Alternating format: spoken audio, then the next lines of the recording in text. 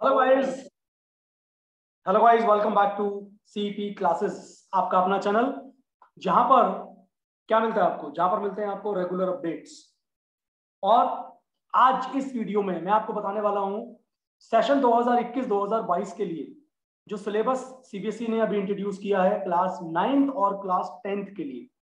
उससे पहले मैंने एक वीडियो बनाया था, जिसमें मैंने डिस्कस किया था क्लास इलेवेंथ और क्लास ट्वेल्थ का सिलेबस अकाउंट्स इकोनॉमिक्स और बिज़नेस स्टडीज़ का। फॉर सेशन 2021-2022 तो अगर आप चैनल पर नए आए हैं, पहली बार आए हैं, सब्सक्राइब कर लो जल्दी से चैनल को बेल के नोटिफिकेशन के साथ और लाइक करना शेयर करना कमेंट करके बताना। सिलेबस फिट होता है आपकी उम्मीदों में, जैसा सोचा था क्या उस हिसाब से बनाया गया है। चलिए, बात करेंगे, सबसे पहले हम लोग मैथमेटिक्स का सिलेबस जो कि नाइन्थ और टेंथ का आज मैं इस वीडियो में बात करने वाला हूँ। तो सबसे पहले बात कर लेते हैं क्लास नाइन्थ का मैथ्स का सिलेबस 2021-2022 के लिए। फ़र्स्ट टर्म का, ये पेपर होगा आपका 90 मिनट का।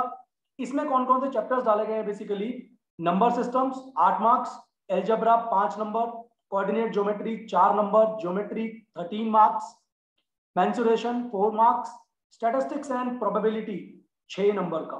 तो इन सारी चीज़ों को मिलाकर आपकी टोटल मार्किंग बनती है चालीस नंबर की और दस नंबर का होगा आपका इंटरनल असेसमेंट टोटल टोटल आपका फ़र्स्ट टर्म हो गया। पचास मार्क्स यहाँ पर हर चैप्टर की डिटेल दी गई है कि जैसे नंबर सिस्टम में क्या क्या चीज़ें आपको कवर अप करनी है एल्जेब्रा में क्या क्या चीज़ें कवर अप करनी है। तो इस पूरी फ़ाइल का लिंक आपको वीडियो के डिस्क्रिप्शन में दे दूँगा, वहाँ जाकर आप डिटेल में देख सकते हैं किस चैप्टर के अंदर आपको क्या क्या चीज़ें करनी है। ठीक है? अच्छा अगर इंटरनल असेसमेंट की बात करूँ, जो कि अभी मैंने बताया दस नंबर का होगा, वहाँ पर क्या होगा, ये बड़ा इंपॉर्टेंट है। आपके जो पीरियोडिक टेस्ट है, उनके तीन नंबर मिलेंगे। मल्टीपल असेसमेंट्स के दो नंबर पोर्टफोलियो होगा उसके दो नंबर और स्टूडेंट की एक्टिविटीज़ प्रैक्टिकल वर्क उनके तीन नंबर तो टोटल मिलाकर बनेंगे आपके दस नंबर ठीक है? आ, बात करें अगर सेकंड टर्म की। सेकंड टर्म में आपका आ गया एल्जेब्रा बाकी बचा हुआ बेसिकली ज्योमेट्री मैंसुरेशन जो जो टॉपिक फ़र्स्ट टर्म में कवर नहीं होंगे इन सभी चीज़ों के बाकी टॉपिक्स आपके सेकेंड टर्म में कवर होंगे। तो एल्जबरा 12 नंबर का ज्योमेट्री 15 नंबर की मैंसुरेशन नौ मार्क्स का स्टैटिस्टिक्स एंड प्रोबेबिलिटी चार नंबर की तो टोटल 40 नंबर और इंटरनल के 10 नंबर इस तरीके से आपका टोटल बनता है 50 नंबर का पेपर ठीक है? अब अगर मैं बात करूँ क्लास टेंथ की आपकी फ़र्स्ट टर्म की. अगेन पेपर 90 नंबर का होगा. नंबर सिस्टम छह नंबर एल्जबरा दस नंबर कोऑर्डिनेट ज्योमेट्री छह नंबर की आने वाली है. ज्योमेट्री सिर्फ़ छह नंबर की है ट्रिग्नोमेट्री सिर्फ़ पाँच नंबर मैंसुरेशन सिर्फ़ चार स्टैटिस्टिक्स एंड प्रोबेबिलिटी और कम कर दिया गया सिर्फ़ तीन नंबर का। तो टोटल आपके चालीस नंबर और दस नंबर डेफिनेटली इंटरनल के। ठीक है? देखिए, जो टेन मार्क्स इंटरनल के हैं, उसका जो जिस तरीके से वो असेस किया जाएगा, वो सेम है हर बार नाइन्थ में भी ऐसा ही था टेंथ क्लास में भी ऐसा ही है। ठीक है? और ये डिटेल दे रखी है ऑफकोर्स कि रियल नंबर में क्या कवर होगा आई मीन नंबर सिस्टम में क्या कवर होगा एलजबरा में क्या कवर होगा? तो डिस्क्रिप्शन में मिल जाएगा आपको लिंक वहाँ से आप देख सकते हैं।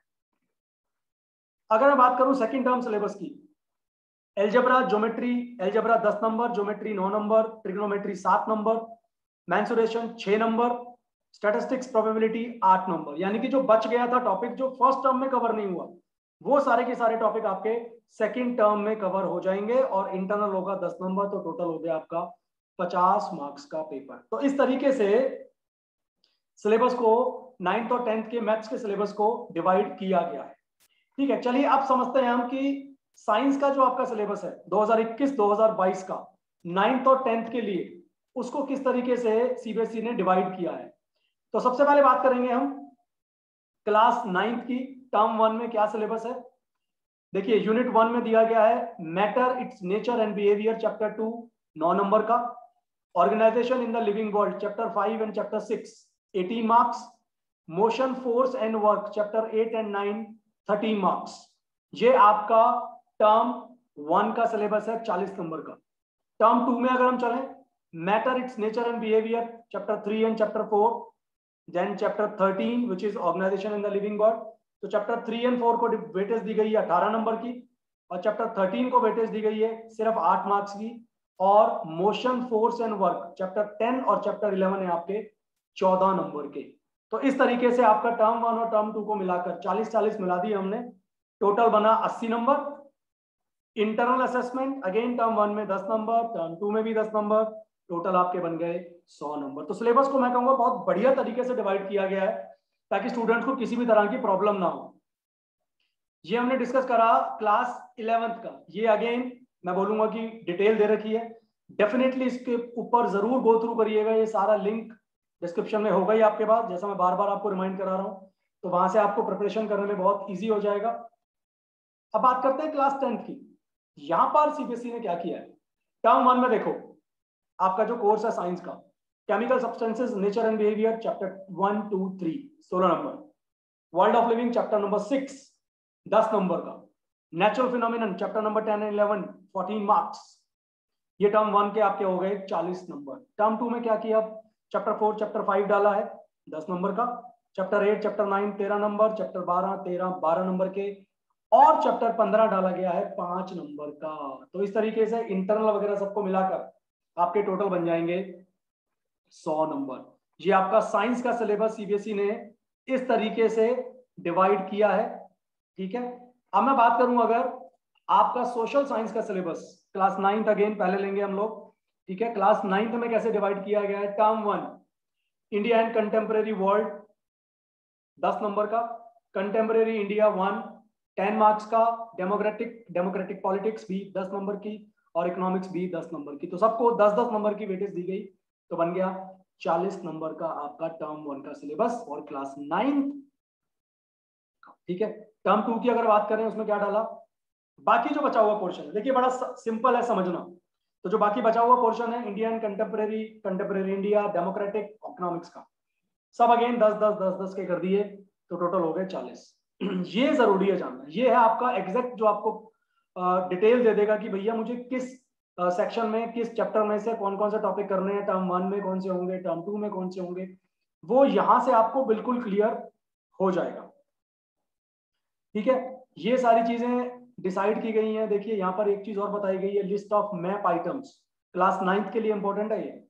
हिस्ट्री का सब्जेक्ट है chapter one French revolution outline political map of France तो ये सारी चीज़ें आपको आ, समझ लेनी है। यही सारी चीज़ें करनी है जो बताया गया है। ठीक है? बताया गया इंडिया साइज़ एंड लोकेशन के हिसाब से।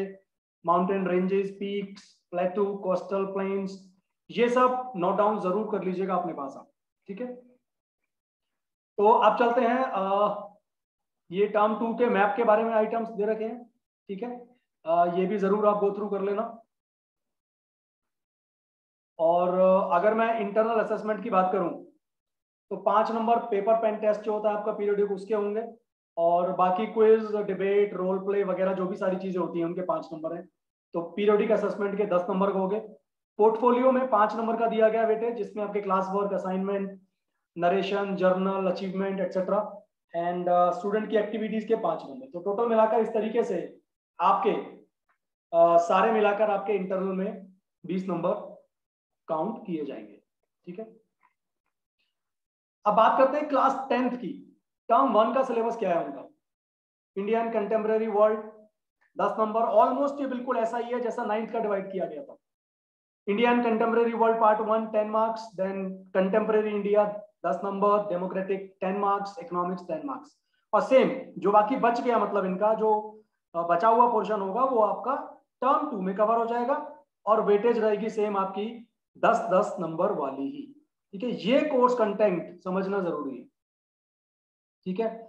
जैसे Indian contemporary world part two term one के लिए, इसमें ये ये टॉपिक आपको करने हैं French revolution idea of nation and so on तो इस को मैं कहूँगा इसका आप प्रिंट आउट निकाल लें या अपने पास इसकी आप मार्किंग कर लें अपनी बुक के अंदर, ताकि आपको क्लियर हो जाए क्या क्या करना है। ये मैप के बारे में आइटम्स की लिस्ट दी है टर्म वन में। ज्योग्राफी में जैसे बोला चैप्टर वन के अंदर थे मेजर सोल टाइप्स के मैप आपको समझना है। वाटर रिसोर्सेज में डैम्स ये नाम दे दिए उनके। तो इस तरीके से आपका जो कंटेंट है ना, बहुत क्लियरली सीबीएसई ने इस बार बहुत अच्छे तरीके से डिज़ाइन किया है और डिटेल एक्सप्लेनेशन दे दी क्या क्या चीज़ें करनी है क्या क्या चीज़ें आपको छोड़नी है, ठीक है? इंटरनल असेसमेंट की मार्किंग बिल्कुल वैसे ही है, जैसे मैंने अभी आपको थोड़ी देर पहले बताया था पीरियोडिक असेसमेंट दस नंबर पोर्टफोलियो पाँच नंबर और subject enrichment activities five marks ठीक है?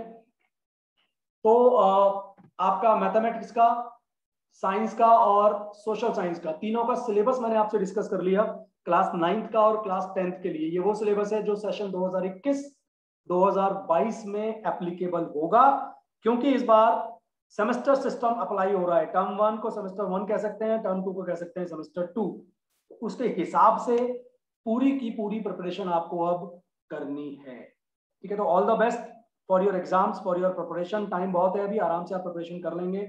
आ, वीडियो में अगर नए आए थे चैनल पर नए आए थे सब्सक्राइब करे बिना मत जाना।